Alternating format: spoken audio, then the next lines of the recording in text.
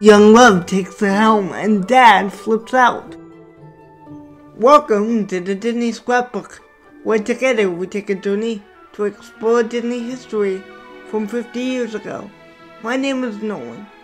Today, I thought we would take a look at Disney's 1973 romantic comedy feature film Superdad, based on a story by the American writer Harlan Ware. In Disney's live-action film Superdad, successful lawyer Charlie McCready has big plans for his daughter Wendy. In an attempt to fulfill this, he tries to pry Wendy from her childhood friends, whom he believes lack ambition.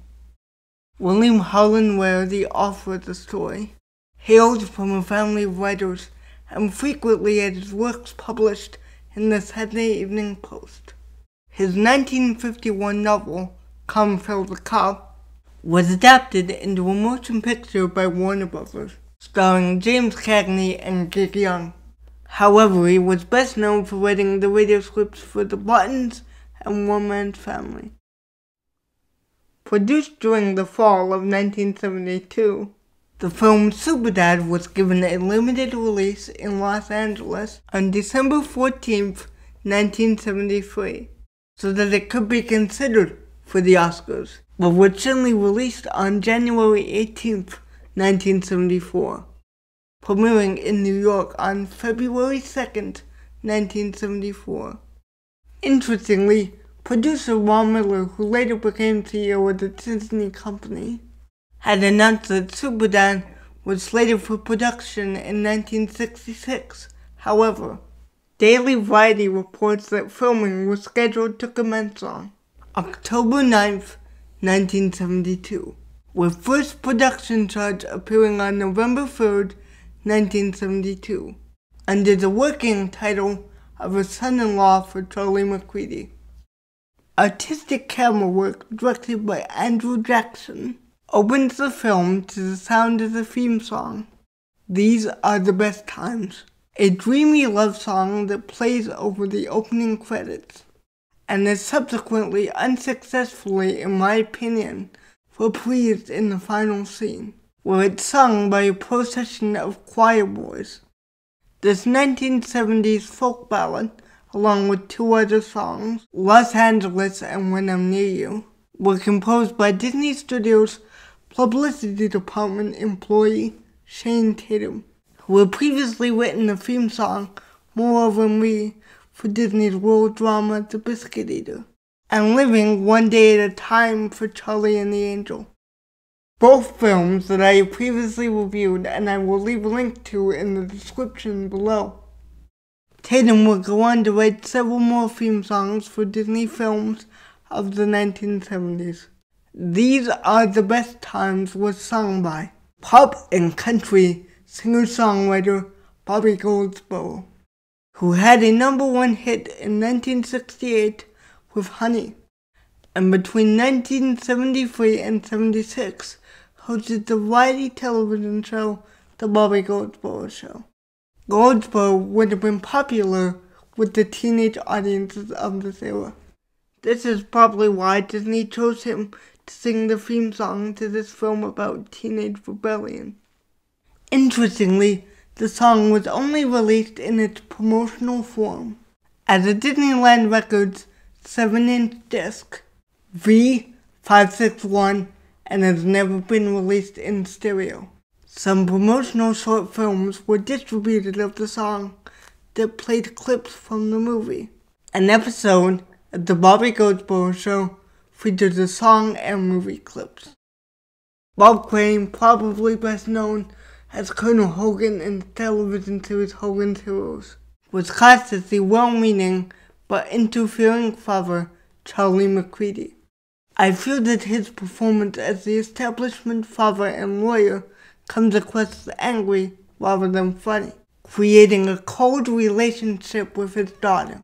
Even though in a January 1974 radio interview with Dick Strout he relays that he has personal experience with teenage daughters. I do not feel that this came across in his performance. Bob Crane started out as a radio announcer and disc jockey. before branching out into TV and subsequently movies. The character of Charlie McCready was his first starring role in a film, and the opportunity came when he was at a low point in his career. He will be mysteriously murdered by an electrical cable and a tripod on June 29, 1978.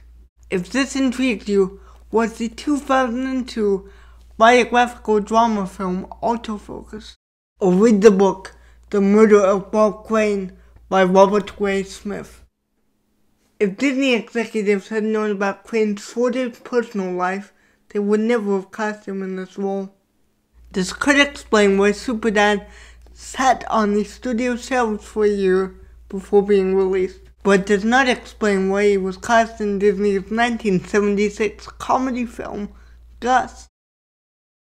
This was the first and only Disney assignment for Barbara Rush, who portrayed Charlie McCready's ever-patient wife Sue, mother of teenage Wendy, having won the Golden Globe Award in 1954 as most promising newcomer for a role in the science fiction film It Came from Outer Space. She became known for playing wealthful women of means, as her character quietly does in Superdad, or polished high society matriarchs. But a breakthrough role never came. In Superdad, her on-screen chemistry with her daughter is appropriate, but towards her husband, she seems cold Maybe there was tension on set, as Crane had several reprimands about his behavior during filming. Starring in his ninth leading role for Disney, Kurt Russell plays Bart, Wendy McCready's childhood sweetheart. At the age of 21, he plays himself, and therefore creates a believable character. At this juncture in his career, he was recovering from a baseball injury that will finally end that chapter in his career. And at this young age, he had a sight set on being a film producer, and while acting, would try and learn about production, camera angles, and set design. Although this dream would not come to fruition, I'm sure this study was the reason why he became such a successful actor. Initially ventriloquist, then a radio disc jockey, Joe Flynn was a serious actor before being pigeonholed into comedic roles. He was known for playing Captain Wallace Binghamton on the 1960s TV sitcom McHale's Navy, before his face became so familiar to Disney audiences, when he would appear in 12 Disney movies and TV films, starting as the announcer on a TV commercial in the 1963 film Son of Flubber. In Superdad as Charlie's client, shipping magnate, Cyrus Hershberger, Joe Flynn played the usual Disney character of the bungling, blustering wolf. Here, he did a great job with the character with what he is given to work with. But as the focus of the subplot, the script does not give him enough time to develop the character, and at times the audience is left hanging with questions about who he is or how he relates to the story. Once again, Kathleen Cody appears as the teenage love interest in her third Disney film, where she again plays herself. This time, her performance comes across as a little more sincere. Deadpan comedian Bruno Kirby, with his high voice, rapid line delivery, does an excellent job here as a carefree teenager, Stanley Schlimmer, in one of his first ever film appearances. He would go on to have a successful acting career, becoming best known as the best friend of Billy Crystal in When Harry Met Sally and City Slickers. It's interesting to note that he's a cast member to mostly work with the St. Bernard Roly Poly when he had a history of severe allergies the hilarious octogenarian, beer drinking, pool playing, motorcycle riding character of Mother Barlow, who runs the co-ed boarding house, is fabulously played by veteran actress Judith Lowry, who first appeared on screen in 1947. She was 82 when she played Mother Barlow, but ended up capping her career in 1975 as Mother Dexter on the TV sitcom Phyllis. Mother Barlow fulfills the same comedic role as Nancy Walker's character Mrs. Peterson does so perfectly in Disney's The World's Greatest Athlete, which the Disney scrapbook has previously reviewed and will leave a link to in the description below. Dick Warlock was once again Kurt Russell's stunt double. In this film, the comedic build-up of stunts seems to miss the mark. Superdad was the first time that two of the brothers from the prolific McEveety family worked together. Joseph McEveety wrote the script, and Vincent McEveety was the director. Super Superdad was Vincent's fourth time directing a string of Disney live-action films in the 1970s. Filming took place in California on the Burbank Studio lot in the hills of San Francisco, San Francisco's Fisherman's Wharf, the Bay Houseboat at Waldo Point in Sausalito, and at Newport Beach in Los Angeles. Superdad opened to mixed reviews. On January 10, 1974, the Hollywood Reporter stated It is a lifeless movie which refers to nothing current in the culture and lacks the imaginative magic which used to be synonymous with the Disney name. On February 11, 1974, Judith Crist in the New York Times described the film as shady and stupid by the lowest family fare standards. But Variety on January 16, 1974, stated that it should strike a respondent note with any generation and commended the performances and technical elements, including Buddy Baker's melodic score. This film had all the makings to be something special, but it just did not hit the mark. Several scenes included real projection screens that were incredibly obvious, like when the gang are all laughing it up on the water ski boat. The background projection is flat and disconnected to the action. According to Daily Variety on October 13th, 1972, the recent Academy Award winner, Gig Young, who had co-starred in Come Fill the Cup, another Harlan Ware story, was originally cast as Charlie McCready, but dropped out over artistic differences.